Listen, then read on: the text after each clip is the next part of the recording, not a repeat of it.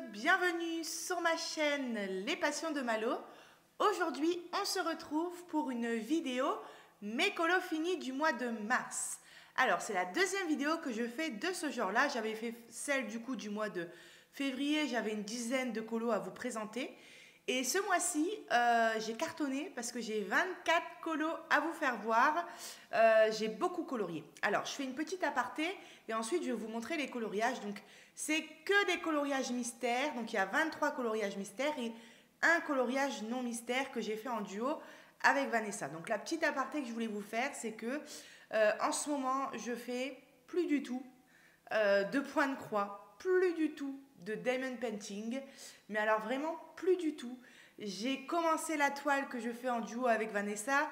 Vanessa qui travaille beaucoup, qui fait aussi du colo, donc on l'avance tous les deux tout doucement. Là, je vais bientôt attaquer la deuxième case, mais c'est vraiment tout ce que je fais. C'est-à-dire que je fais rien d'autre. Et en fait, ce qui se passe, c'est que euh, j'ai pas plus envie de faire de point de croix. C'est bizarre ce que je vais dire. J'ai l'envie de faire du point de croix quand j'y pense. J'ai l'envie de faire du DP.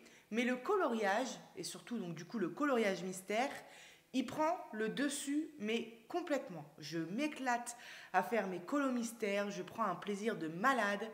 Et euh, du coup, bah, je me dis qu'il ne faut pas se forcer et puis que ça va revenir. Euh, donc euh, voilà, c'est pour ça que vous, voyez beaucoup moins de vidéos sur ma chaîne parce que du coup j'ai plus de contenu pour vous présenter, on va dire, j'ai plus d'avancées, etc. Mais, attendez, je regarde par la fenêtre aussi, parce que j'ai mon mari qui est en train de recoller un truc dans sa voiture, il est sans arrêt en train de me demander quelque chose. Alors, qu'est-ce que j'allais dire? Oui, c'est ça. Vous voyez, j'ai sept colis, je crois, en partenariat qu'ils attendent depuis plusieurs jours, voire même plusieurs semaines je vais quand même vous les filmer, attention. Hein. et vous allez aussi encore voir du DP et du point de croix sur la chaîne. Mais ça se peut qu'il y ait une pause et, euh, et puis ça reprendra. Vous allez voir, c'est comme tout. Hein. J'avais plus du tout envie de faire de peinture par numéro, par exemple. Et là, tout doucement, je commence à en, avoir euh, re l'envie, on va dire. Mais le colo, c'est vraiment une activité que je veux pas arrêter parce que J'adore. Et pendant des mois et des mois, je me suis bloquée de pas faire de colo parce que bah fallait que j'avance tel projet ou tel projet. Et donc du coup, je me disais fais pas de colo parce que ça sera une case en moins de fête par exemple. Donc je me bloquais de faire du colo et en fait là euh, euh, j'en fais et je me rends compte que j'adore vraiment ça. voilà. Donc c'est pour ça qu'il y avait beaucoup moins de contenu sur ma chaîne. Les prochaines vidéos que vous allez voir, euh, ça sera certainement du coloriage. Le souci, c'est que je fais principalement du coloriage mystère. Et à part la vidéo tous les mois de mes colos finis, je ne sais pas trop quoi faire comme vidéo. Donc on m'a demandé une vidéo sur mon matériel. Donc ça, ça va être fait très prochainement. Comme j'alterne, vous savez, entre deux maisons en ce moment, bah, j'ai un peu de matériel ici à la campagne et un peu à la ville. Donc euh, bah, c'est un peu compliqué de tout avoir en même temps pour la vidéo. Mais je la ferai. Je pourrais faire aussi une vidéo de mes livres de coloriage. Mais voilà, ça fait déjà deux vidéos, euh, une vidéo par mois de mes colos finis. Et à part ça, je ne sais pas trop quoi faire. Donc peut-être ça vous plairait du coloriage où on papote ensemble, le style de vidéo où vous, vous savez, euh, color with me en anglais, mais là ça veut dire euh, colorier avec moi, quoi. Et je parlerai, je peux faire du de la vidéo, enfin du coloriage en musique. Moi personnellement, j'aime pas trop ce genre de vidéo. Mais si ça peut plaire aux gens, ça ne me dérange pas d'en tourner. Et après, je vais bientôt faire une vidéo fac enfin FAQ, fac à question. C'est Vanessa qui m'a donné l'idée. Et du coup, euh, enfin, elle, a fait il n'y a pas longtemps une fac sur sa chaîne. Et du coup, ça m'en a donné l'idée. Et euh, j'ai demandé sur mon groupe de colo euh, des questions. Et du coup, très prochainement, quand j'aurai assez de questions pour faire une vidéo, je ferai une vidéo où je répondrai aux questions tout en coloriant.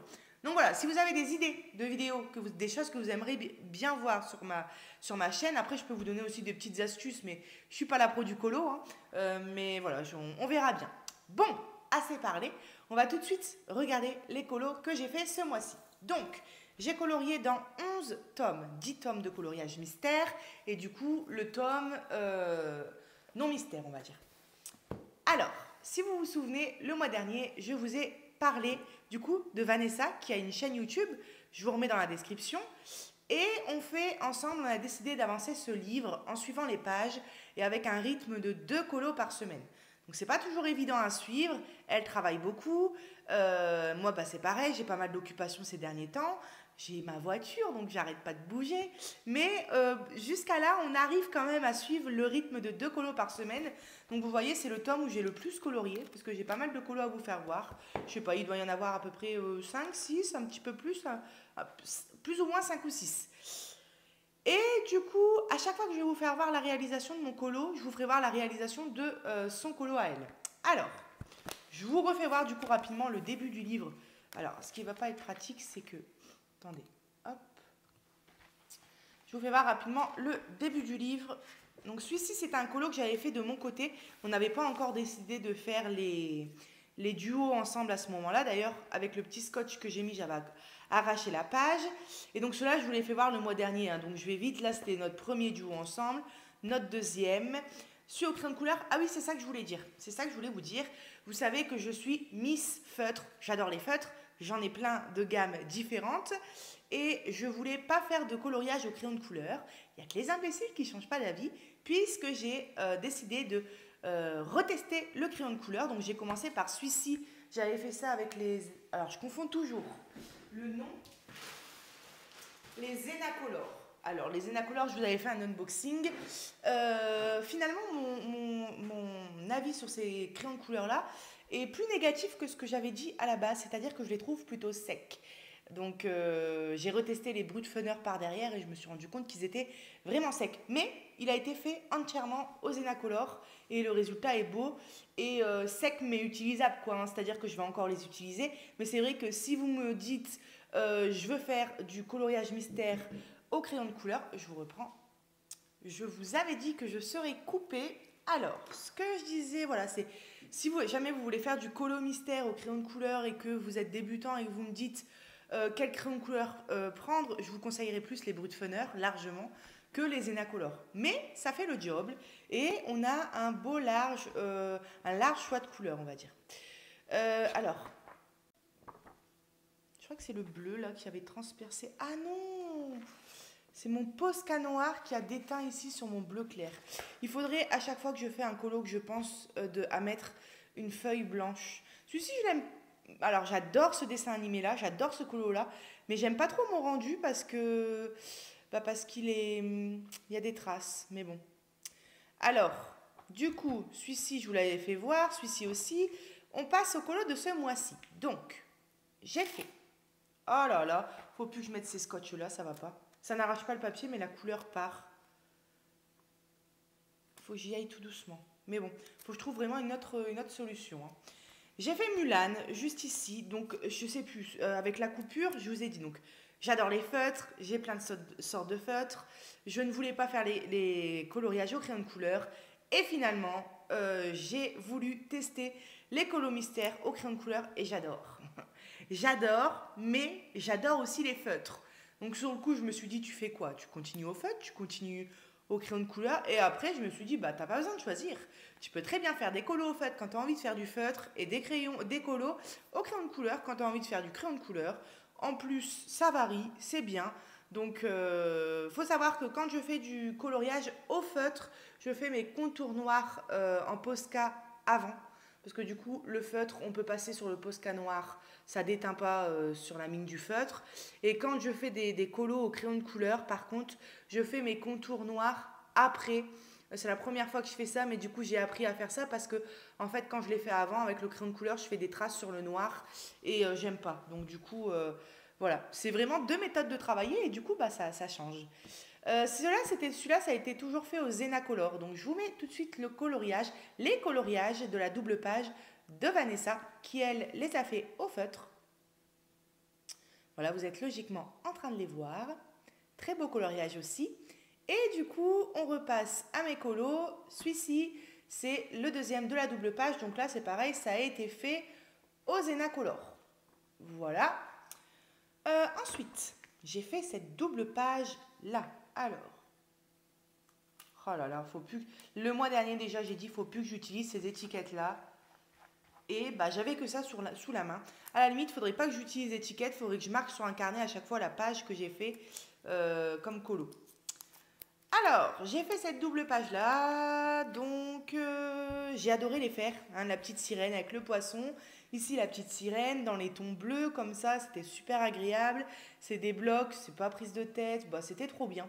Donc, euh, que du bonheur, comme on dit. Alors, je vous mets tout de suite les deux colos de Vanessa, qui du coup les a fait aussi au feutre. En fait, euh, à chaque fois qu'on fait un colo, on se l'envoie et on, se dit à chaque fois euh, où on en est. Donc euh, on avance comme ça et du coup moi je, lui envoie mon colo, elle elle m'envoie le sien. Comme ça le jour où je, filme la vidéo, je peux vous, vous mettre ces résultats aussi à elle. Alors vous voyez là, alors attendez, j'ai le j'ai du feutre. C'est un peu le problème du feutre des fois, c'est que ça déborde. Alors logiquement le feutre c'est pas censé déborder, mais je crois que j'ai des gammes de feutre qui débordent. Alors là je me demande si c'est pas euh, le bleu là Lequel ça? Ah non, là c'est. Attendez. Je dirais du bleu marine. Ou alors c'est le. Non? Attendez. Ce serait ce bleu là. Et je peux même plus vous dire. Euh, bah ça c'est les Stabilo Power 30. Donc habituellement ils transpercent pas. Mais c'est vrai que j'ai des couleurs qui, se qui transpercent des fois au feutre et vous allez le voir sur le colo d'après. Donc j'ai fait cette double page là, vous voyez euh, ce livre là, j'ai décidé de faire tout tout tout les contours au Posca noir. Euh, surtout que des fois il y a des, il y a des colos où c'est vraiment pas que un contour mais vraiment une grosse zone. Donc je fais tout au Posca noir et je trouve le résultat super sympa. Celui-là j'adore les couleurs. Celui-ci je l'aime bien mais je trouve qu'il a des traces. la petite modification entre guillemets que j'ai fait, mais je trouve que ça ressort pas assez, c'est que vous voyez les, les fers à cheval là, et ceux du coup assez. Comment on appelle ça? J'allais dire des pieds de cheval. Ça va pas moi. Assez. Comment on appelle ça? Bon, je ne sais plus. Bref, euh, j'ai mis du Posca or. Voilà, du Posca euh, or. Je me suis dit que ça allait faire beau. Ici aussi un petit peu. Et aussi toutes les étoiles autour. J'ai mis du Posca or. Et ça, ça a été trop pratique. Vous savez pourquoi? Parce que quand j'ai colorié mon bleu tout autour, euh, bah, avec toutes les petites étoiles à chaque fois, c'est chiant. Et j'avais eu le tour, et où? Là, avec les pattes. Attendez. Ah, celui-ci, vous voyez, c'est chiant, il faut... Ça prend du temps, quoi. Et là, je me suis dit, tu sais quoi, tu sais ce que tu fais. J'ai colorié tout du bleu en repassant sur les étoiles. Et après, le Posca, bah, comme c'est de la peinture acrylique, et eh ben, je suis venue de faire les petites étoiles et je les voyais encore à travers... Euh, je voyais encore l'étoile à travers le bleu. Donc, j'ai pu repasser en faisant les étoiles. Au moins, pour mon bleu, j'ai pas de traces. Ici, donc, c'est le colo qui a hyper transpercé. Euh, j'ai utilisé les Stedler pour le bleu foncé. Les Stedler, logiquement, sur les tomes euh, du style... Euh, bah, les, tomes avec du plus gros papier, les premiers tomes, je trouve qu'ils transpercent pas. Quand bien que ça, ça a déjà transpercé quand même. Mais c'est rare, on va dire. Mais là, avec les couleurs foncées, et là, le papier est peut-être un peu plus fin. Et ben voilà, ça a complètement transpercé. Vous voyez, voilà, je suis dégoûtée, ça a fait du bleu ici partout, du bleu là, du bleu là. Alors ce colo-là, j'ai pris au moins 3 ou 4 jours à le faire parce que du coup, j'étais dégoûtée. Et euh, de repasser comme ça sur le bleu, j'avais l'impression que c'était sale. Mais il euh, fallait quand même que je le fasse et au final, le résultat est quand même beau, mais c'est vrai qu'on voit le bleu. Alors, je reviens juste ici pour vous faire voir tout de suite la double page de Vanessa de ces deux colos qu'elle a réalisés. Voilà. Alors, du coup, on revient ici, là où ça a débordé. Donc, j'enlève les deux petites étiquettes. Et là, là, c'est quand même mieux. C'est-à-dire qu'on repart sur du crayon de couleur, mais des bruts de feneur. Et là, vous voyez, le résultat est vraiment pas mal. Les bruts de feneur, ils sont géniaux. Hein. Euh, ils sont super, ils sont bien pigmentés. Par contre, c'est vrai que... Alors moi, je sais que quand il y en a qui font des colos mystères en faisant plusieurs couches au crayon de couleur, moi, je fais qu'une couche. Mais j'appuie, j'appuie bien. D'ailleurs, je passe mon temps à souffler parce qu'il y avait des petites poussières qui s'en vont. Mais j'appuie bien et je fais qu'une couche. Et vous voyez, c'est super pigmenté.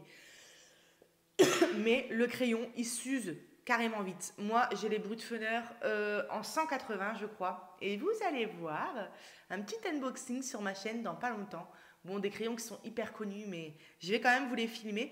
J'ai craqué sur les Brutfener 520 que j'ai commandé sur Amazon hier. Ils étaient à 119, 119 euros, donc c'est pas un petit craquage, mais il y en a 520. Donc j'ai trop hâte de les recevoir et je vous ferai voir en vidéo. Voilà. Je sais déjà que je vais pas être déçue puisque j'adore la texture de ces crayons. Et euh, maintenant, reste à voir si les teintes euh, sont bien. Mais bon, 520 couleurs, il y aura toujours de quoi faire. hein. Alors, euh, du coup, je vous affiche tout de suite la double page de Vanessa. Voilà, ce sont aussi de très beaux colos. Et on repasse. Oh, ah bah voilà, c'est tout. On a fini parce que celui-là, c'est celui qui est en cours. Euh, D'ailleurs, on est vendredi aujourd'hui et c'est le premier que je devais faire cette semaine. Donc j'ai un petit peu, bah, je suis pas en retard puisque j'ai jusqu'à dimanche, mais euh, il faut que je le finisse et que du coup je fasse celui-là d'ici avant lundi. Mais des fois on a du retard hein, de quelques jours et on se rattrape sur la semaine d'après. Enfin, c'est pas grave. Mais regardez-moi ce colo. La, euh, la, comment dire, le détail qu'il y a. Il y a des numéros carrément que je ne vois pas. C'est hyper détaillé. Donc je le fais au feutre parce que je me suis dit que euh, les petits détails comme ça au crayon de couleur, bah, il faut une mine bien pointue et que j'allais passer mon temps à retailler mon crayon. Donc là, je le fais au feutre. Voilà. Et bah, c'est tout pour ce livre-là. Ensuite, je vous ferai aussi une vidéo parce que je voulais pas vous le faire voir dans la même vidéo pour que je puisse du coup euh, mettre un peu de contenu sur la chaîne. Je vous ferai une vidéo, j'ai créé mon tracker pour les coloriages mystères. Je l'ai décoré et tout, bah, c'est rien de, rien de ouf, rien d'extraordinaire. Mais du coup, je vous le ferai voir à l'occasion dans une petite vidéo d'une dizaine de minutes. Je vous le ferai voir, euh, je l'aime beaucoup mon tracker. Alors, deuxième tome où j'ai fait deux coloriages, c'est le grand classique tome 4. Alors, eh ben, j'ai fait une double page. Alors, attendez, parce que ici, j'ai passé mon colo dans la pochette. Alors, parce que vous savez, quand je fais les contours en noir, ma feuille a tendance à onduler. Donc là, j'ai voulu bien la mettre à plat. Donc, j'ai fait cette double page juste ici. Feutre, crayon de couleur. Alors, euh, bon, ici, c'est des feutres, hein, rien de spécial. Les petits points blancs, je les ai repassés au Posca, surtout qu'ici, ça se voit d'ailleurs, ils sont moins intenses. J'avais tout colorié en bleu et j'avais oublié les points blancs. Attendez. Quoi? Je comprends pas ce que dit ma grand-mère, je vous reprends tout de suite. C'était ma grand-mère qui me demandait le pulvérisateur parce qu'elle est dans son jardin. Et je rigole parce que du coup, je l'ai pulvérisé un petit coup, je suis pas gentille. Alors, donc celui-ci, un feutre, euh, j'ai fait deux couches, donc on a moins de traces. J'aime beaucoup ce colo, très sympa. Donc vous voyez au feutre, euh, je trouve que je commence à avoir des résultats qui sont plutôt sympas. Et alors ici, alors attendez, j'enlève ça. Ici, j'ai pas pris, alors le résultat est sympa, hein, mais j'ai pas pris vraiment, j'ai pas pris euh, énormément de plaisir à faire ce colo. Pourquoi? Je vous ai fait une publication, c'est pareil, hein, je vous remets le lien de mon groupe de coloriage dans la description on est plus de 400, c'est génial, il y a des défis, je pensais jamais que ça allait augmenter autant. Euh, Vanessa qui m'aide énormément pour euh, gérer le groupe. Donc franchement, c'est tip top, n'hésitez pas à nous rejoindre. Et du coup, tout ça pour vous dire que j'ai mis dans la semaine euh, en photo une publication, j'étais toute contente de cet achat. Des crayons de couleur de chez Action, 80 couleurs pour 10 euros, 9,99. Je me suis dit, à la vitesse où tu uses des fois tes brutes feneurs, vous voyez, des fois, voilà, là j'ai fait deux fonds deux fonds. Mon crayon a diminué de moitié. Enfin, même pas, même pas deux fonds, deux coloriages avec euh, beaucoup de cette couleur à colorier, on va dire. Euh, donc à la vitesse où j'use mes crayons, je dis 9,99 euh, pour 80 teintes, ça peut être pas mal. J'étais super contente, enfin super contente, j'étais contente quoi. Et je les ai testés du coup pour ce colo là et ils sont hyper secs hyper, hyper. J'aurais dû regarder des vidéos avant de les prendre. Après, moi, j'aime bien aussi des fois me faire mon propre avis, mais Là, ouais, je me suis bien fait mon propre avis, c'est-à-dire que clairement, je vais plus colorier avec. Ils sont trop secs, c'est pas assez agréable. J'ai entendu du bruit. Ils sont tellement secs que ça gratte le papier et qu'ici, j'en ai fait un trou. Alors vous allez dire comment comment t'as fait un trou avec ces crayons là Bon, j'avais déjà un petit peu abîmé ma feuille avec ma gomme électrique. Je l'ai mal placée et ça a un peu râpé ma feuille. Voyez? Je l'ai mal placée, elle est à ras ma gomme électrique, donc j'ai un peu râpé ma feuille et en voulant colorier dessus, bah, ça a carrément fait un trou. Mais euh, il y a des endroits où j'ai colorié, ça se voit pas comme ça, mais je voyais que ma feuille, elle faisait des peluches parce que c'est sec. C'est hyper sec, là vous voyez, j'ai appuyé à fond, donc les couleurs, euh, bon, elles restent quand même pigmentées, mais non. Alors j'ai le chien qui veut rentrer, je suis beaucoup dérangée dans cette vidéo, je vais pas couper, attendez,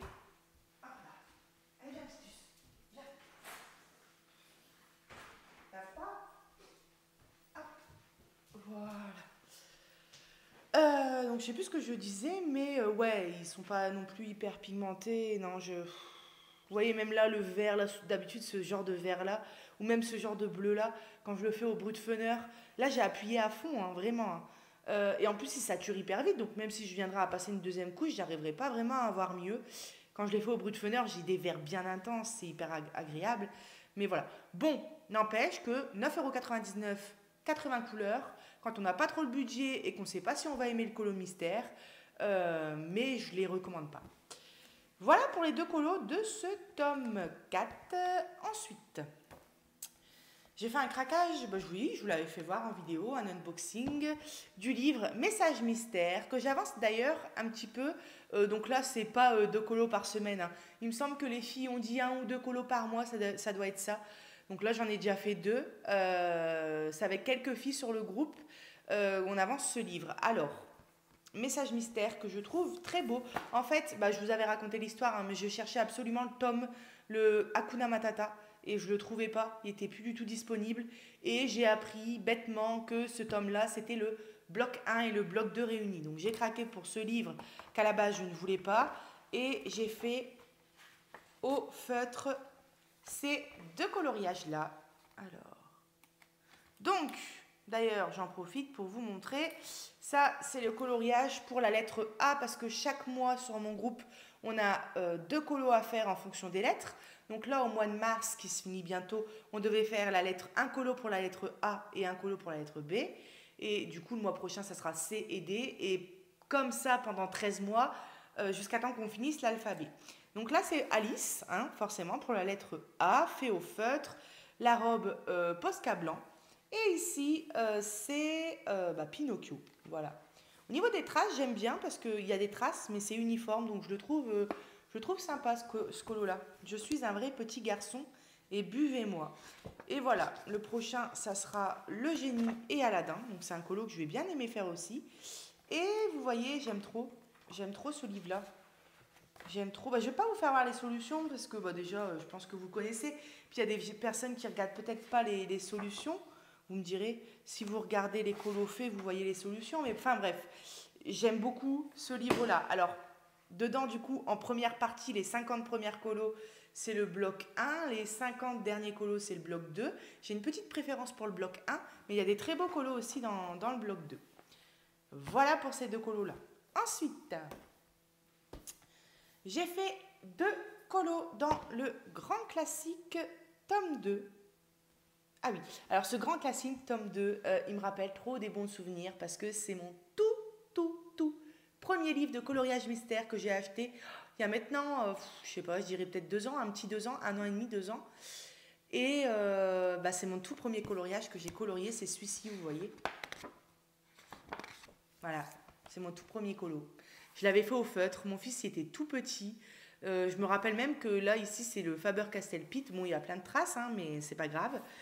Et, c'est ça qui m'a donné l'amour du colo. Après, j'ai pas énormément colorié les mois qui suivaient euh, mes débuts de colo parce que, bah, comme je vous ai expliqué en début de vidéo, mais euh, voilà. Et ici, c'est pareil, c'est mon deuxième colo que j'ai fait. Il y a plein de traces aussi, mais euh, je l'ai beaucoup aimé. Ici, c'est une trace d'eau, vous voyez, mais c'est pas grave, je l'aime bien. Donc, c'est un livre que je fais dans l'ordre.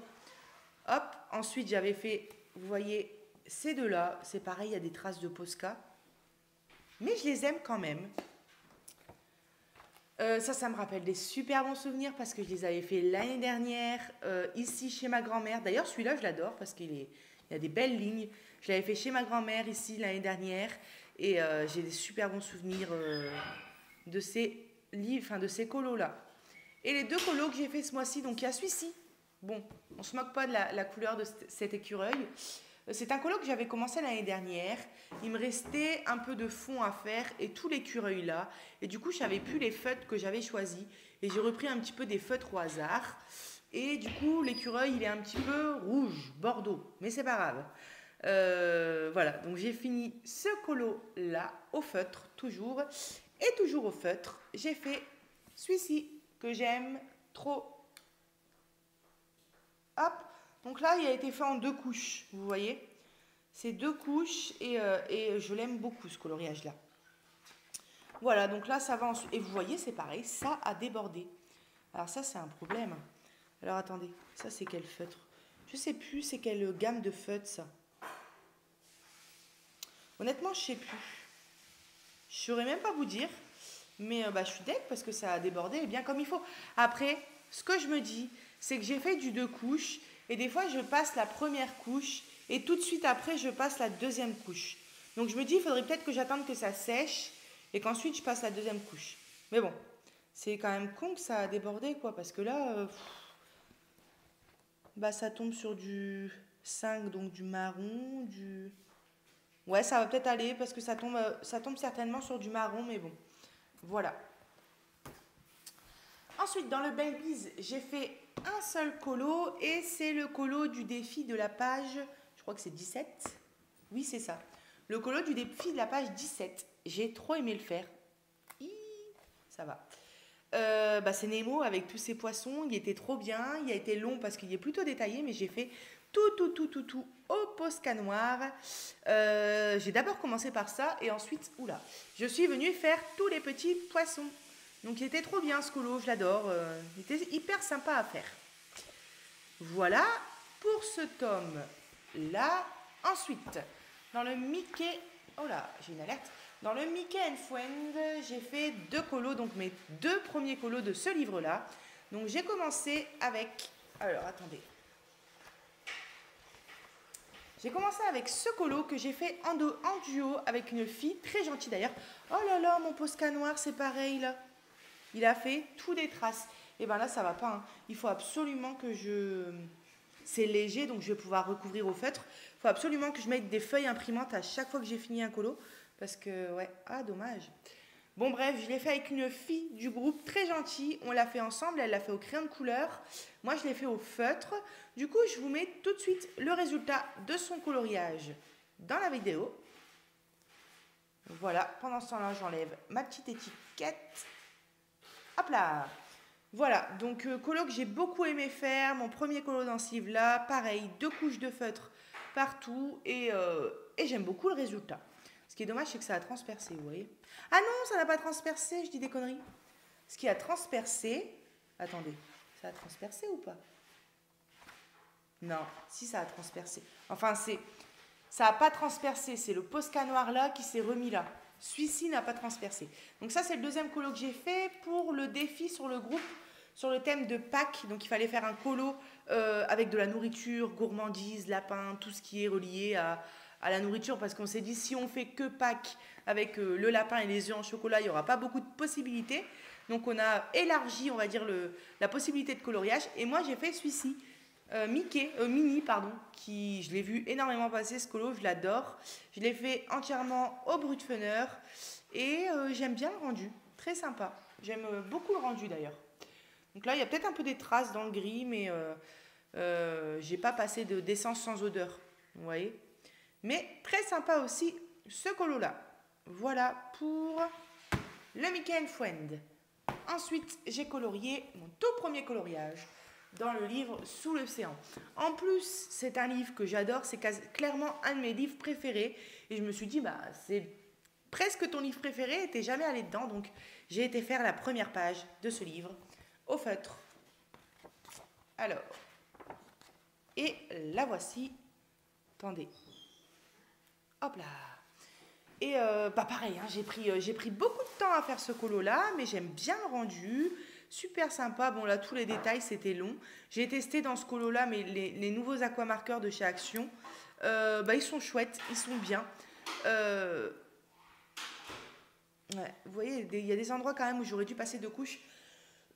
Mais dans l'ensemble, j'aime bien le résultat. J'ai mis du Posca blanc pour les reflets blancs dans l'eau et toujours mes contours au Posca noir. Voilà, et ça c'est vraiment un livre que j'aime beaucoup. Donc euh, le, mois prochain, vous verrez certainement un ou deux autres colos dans ce livre-là. Ensuite, j'ai fait mon premier colo dans le livre Saison. Euh, pareil, je l'ai fait en duo bah, avec la même personne avec qui j'ai fait le duo de Mickey. Donc, alors, le voici, toujours fait au feutre. J'ai trop aimé le faire, hyper détaillé. Il y avait des numéros qui étaient assez galères à voir, mais ça a été.